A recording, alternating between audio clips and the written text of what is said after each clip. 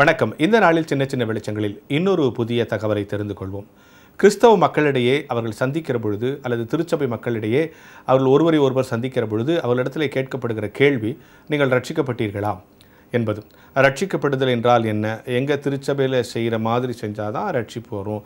எங்கள் திருச்சபையினுடைய முறைமை தான் ரட்சிப்புக்கு சரியான முறைமைகள்.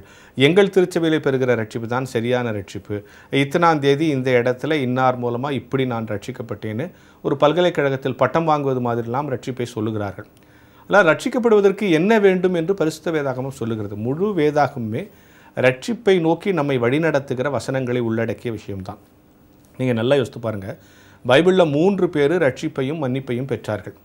ஒன்று சகேயும் இன்னொன்று விபச்சார ஸ்திரீ இன்னொன்று பக்கத்து கல்வன் இந்த மூன்று பேரில் பலர் பெற்றிருக்கிறார். இந்த மூன்று பேரை நான் எடுத்துக்கிறதுக்கு காரணம் என்னென்னா சகேய் வீட்டுக்கு கடவுள் போகிறார்.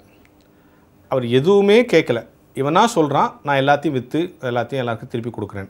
உடனே அவர் சொல்கிறார் இன்று இந்த வீட்டிற்கு ரட்சிப்பு வந்தது. அவன் ஞானஸ்நானம் எடுக்கலை அவன் முழுகலை அவன் நம்ம சர்ச்சில் எந்த சர்ச்சிலையும் மெம்பர் ஆகலை. எதுவும் பண்ணலை. இந்த வீட்டுக்கு ரட்சிப்பு வந்து சொல்கிறான் ஒன்றே ஒன்று செஞ்சான். என்ன? தன் பாவத்தை உணர்ந்து அறிக்கையிட்டான். அடுத்து அவங்க விபச்சார ஸ்திரீ அவள் பேசக்கூட இல்லை. அழுதுகிட்டே தான் இருந்தான்.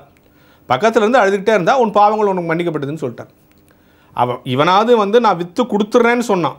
அவள் அதை கூட சொல்லலை. அழுதுகிட்டே தான் இருந்தால் உன் பாவம் உனக்கு மன்னிக்கப்பட்டதுன்றார் இந்த பக்கம் வாங்க.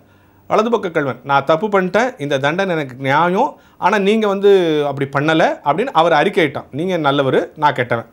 நீங்கள் நல்லவர் நீங்கள் முடிஞ்சால் என்னை பரலோகத்தில் சேர்த்துங்க. உடனே உனக்கு பரலோகத்தில் இடம் கிராண்ட் பண்ணிட்டார் இந்த மூணு விஷயமும் எதை உணர்த்துதுன்னா நான் என் தவறுகளை உணர்கிற பொழுதும் உணர்ந்து அவரிடத்தில் அறிக்கை பண்ணுகிற பொழுதும் அல்லது மனம் கசந்து அழுகிற பொழுது என்னுடைய தகுதியை உணர்ந்து அவருடைய வல்லமையை நான் உணர்ந்து கொள்ளுகிற பொழுதெல்லாம் இமீடியட்டாக ரட்சிப்பு கிராண்ட் ஆகிடுது இதுக்கு எந்த படிநிலைகளும் எந்த பாஸ்டரோ எதுவும் தேவையில்லை.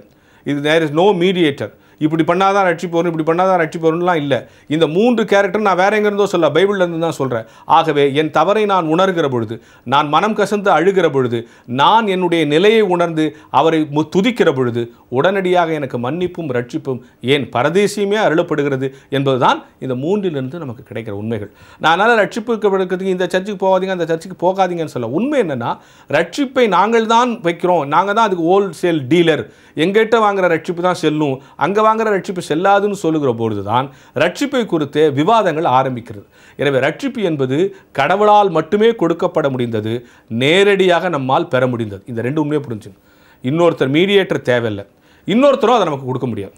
எனவே கடவுளால் மட்டுமே கொடுக்க முடிந்த ரட்சிப்பை நானே முயன்று பெற்றுக்கொள்ளக்கூடிய ரட்சிப்பை நான் மனங்கசிந்து அழுது என் பாவங்களை உணர்ந்து என் தகுதியை உணர்ந்து அவரை துதித்து பெற்றுக்கொள்ள முடியும். அதை நீயும் பெற்றுக்கொள்ள முடியும் நானும் பெற்றுக்கொள்ள முடியும் என்ற ஞான வெளிச்சத்தோடு இந்த நாளை தொடங்கும்